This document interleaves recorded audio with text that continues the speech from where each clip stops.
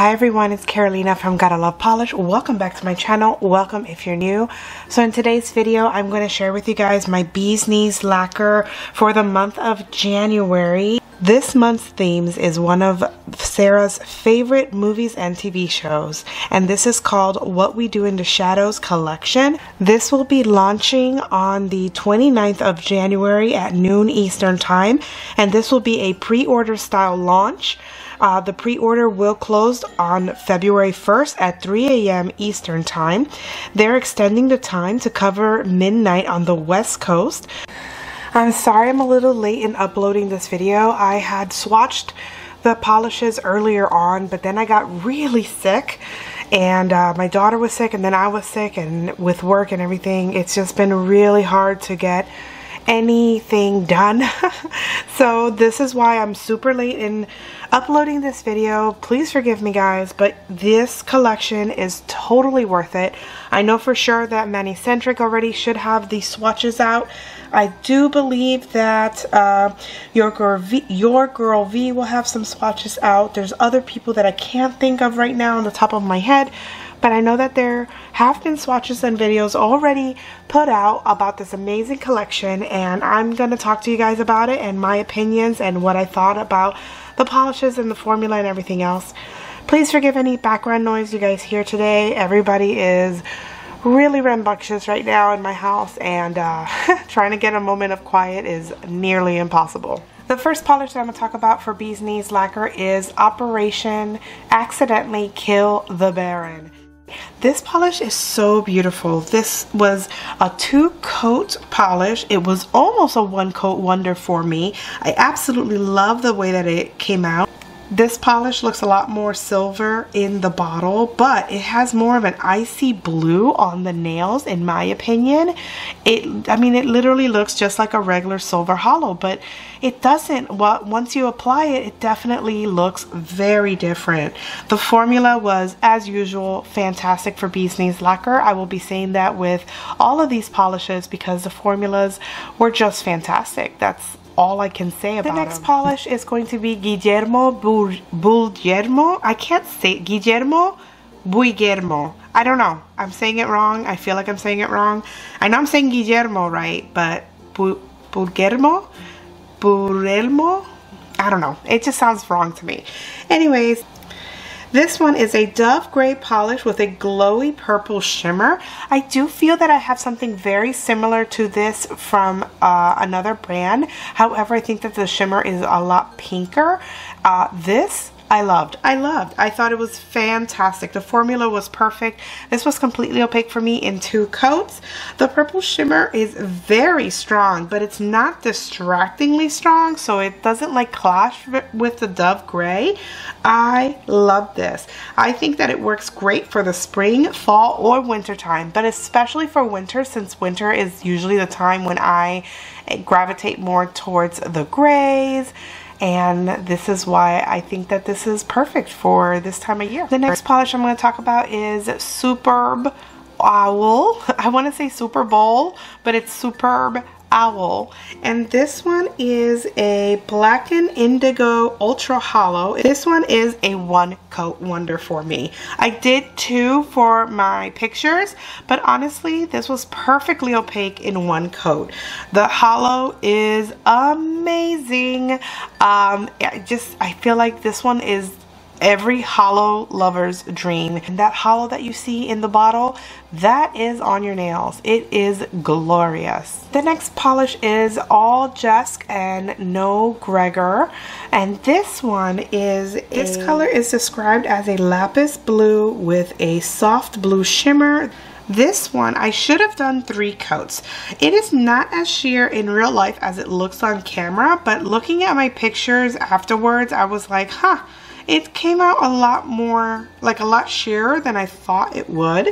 I love the way that this one looks, but not on me as much mostly because these type of blues are the blues that I've talked about before in my channel where I absolutely love it that blue shimmer in here looks amazing it looks it gives this polish a little oomph that I absolutely love but blues have a love and hate relationship with me and this one is one of those that I don't really love on me but it's so pretty that I still want to wear it regardless and I think that this is perfect for winter or for spring. This next one is called Bat and Bat is a raisin polish with glowing green shimmer. Oh my god, the only thing I wrote on my notes for this one is One Coat Wonder. That's it. That's all I have to write. This one right here was amazing. And of course, the formula, as usual, is fantastic for Bee's Knees Lacquer.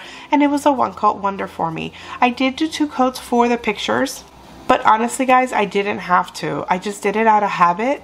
It is so pretty. I absolutely love the way that this looks. I love how she does the contrasting shimmer with the base. It it always speaks to me and you don't get the streaky um, like I don't know it doesn't look frosted it doesn't look streaky it's just perfectly blended and applies like butter. Alright guys so this one this one this is called vampires only and this is a magnetic.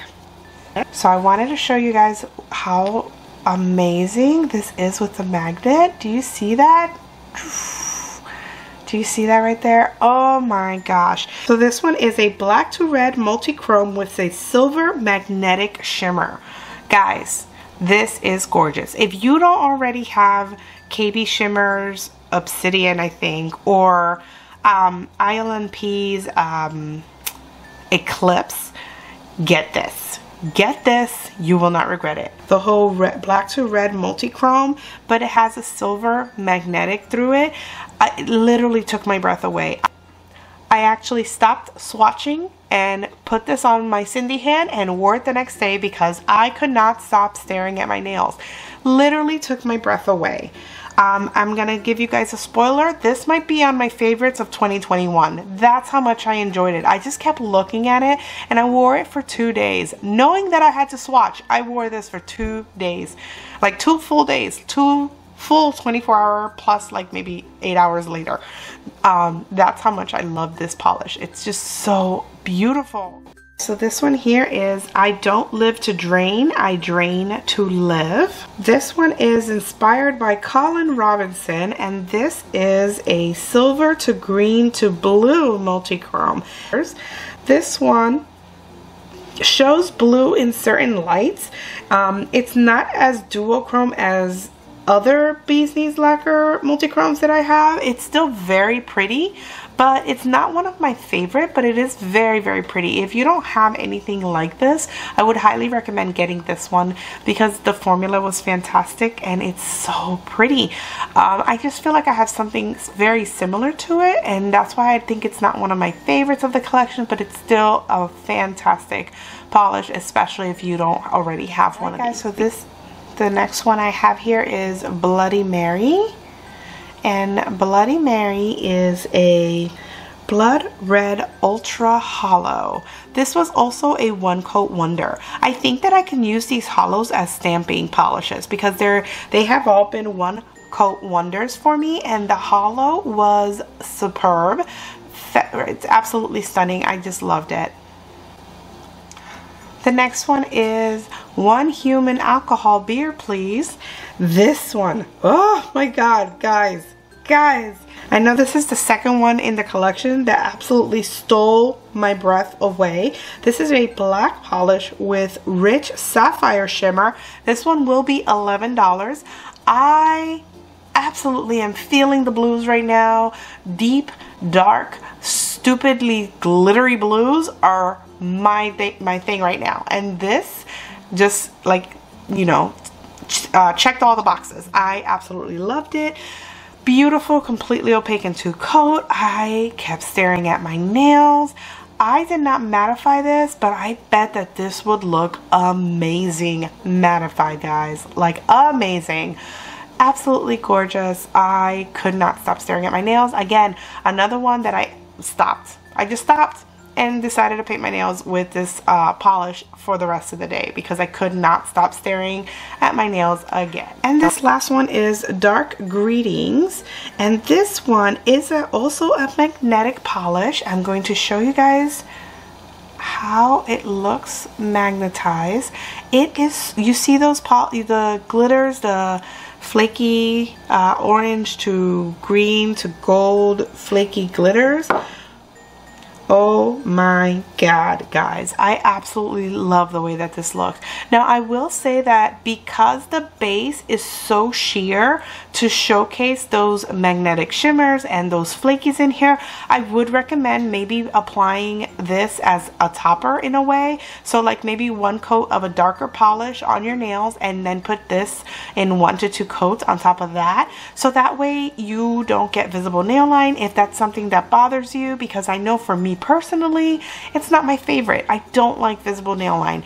So that was the only thing that I was kind of like meh about. I did do this in two coats um, and I thought it looked fantastic. However, I just know for me personally, the visible nail line kind of bummed me out. And next time I wear this, I will probably do a dark polish underneath.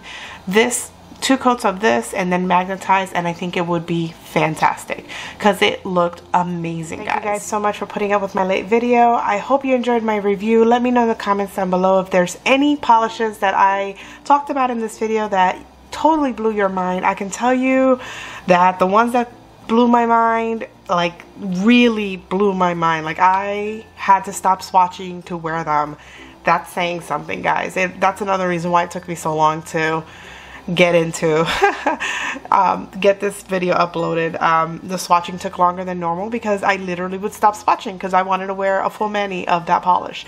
So anyways, thank you guys so much for watching. Leave me a comment down below. Which one are you thinking about getting if you are going to get any of these? And I will see you guys in my next video. Bye!